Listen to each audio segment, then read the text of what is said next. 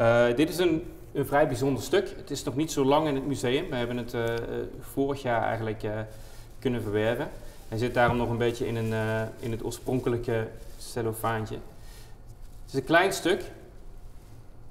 En op het eerste ogenblik lijkt het misschien niet echt ergens op.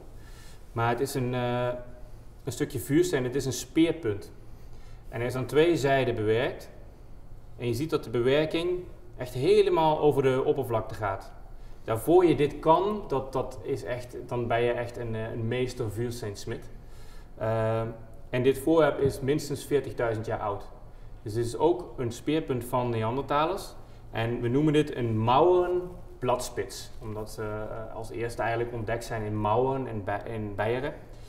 En het bijzondere aan deze voorwerpen is dat het uh, type voorwerp is dat gemaakt door de allerlaatste Neandertalers in deze streken. Dus rond 40.000 sterven ze uit in de jaren daarna. En uh, dit zijn de allerlaatste werktuigen die ze eigenlijk maken. Dus ze gaan pas op het allerlaatste dit soort hele fijne spitsen maken. En uh, ja, dat maakt dit een, ja, eigenlijk een soort sluitstuk van een hele lange periode.